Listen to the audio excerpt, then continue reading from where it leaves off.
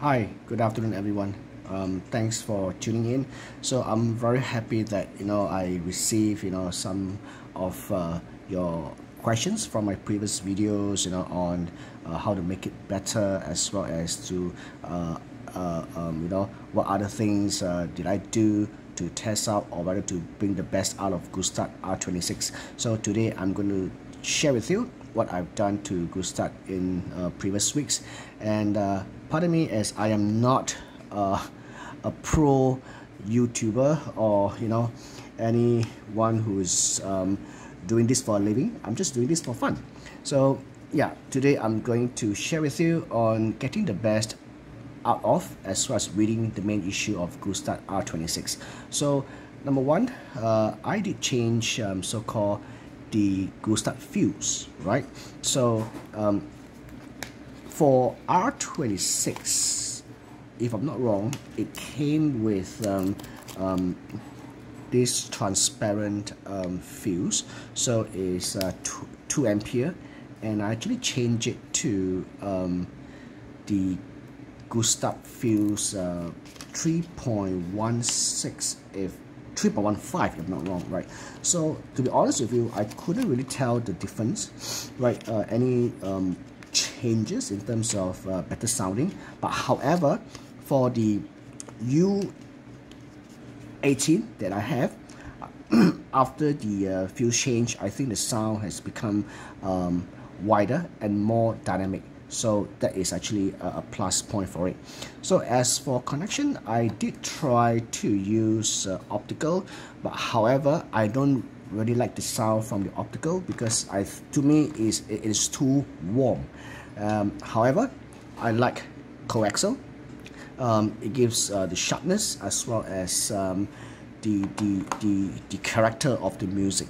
And of course what I like best is actually the uh, I, I2S right? Because um, once I use the I2S I will be able to uh, make use or rather utilize the one of the main features from U18 so there are total of four modes. So they have the Gustard uh, mode 1 mode 2 mode 3 and, and, sorry Gustard mode mode 2 mode 3 and mode 4 so each mode uh, brings a different type of uh, characters to the music.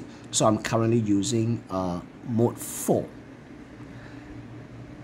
and also to continue uh, what is the main issue with R26 uh, maybe it's my problem because uh, my equipments are kind of like close to each other and cables all around. So I do have a humming sound from the Gustard R26 right? So uh, I'm quite particular about you know humming. So I tried stuff like you know the ground box it didn't help. I tried the uh, ground wrap it didn't work I tried the uh, Kojo Crystal E it didn't work but however, I like Kojo Crystal E because, uh, to my surprise, it gives uh, when I when I plug this into my uh, preamp, uh, it gives uh, the music a new type of characteristics. Um, the vocal is sharper, the soundstage is wider, and the music is more dynamic. So I love this Kojo Crystal E. And of course, I did try the iFi Ground Defender. It didn't work, but however, uh, I have a solution definitely. So what's the solution? Just give me a second.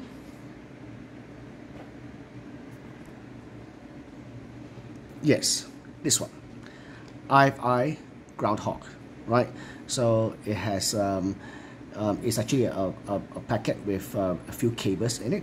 But the one that actually got rid of the hum is this right so this is like um, you if you have uh, an extra socket put this in and put this into any of your RCA or rather put this into the coaxial um, interconnect of R26 um, the hum will definitely go away it's kind of like powerful.